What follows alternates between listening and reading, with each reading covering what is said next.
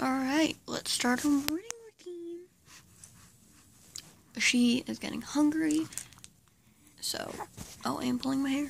Thanks, baby. Thanks, barber. You're all smiley.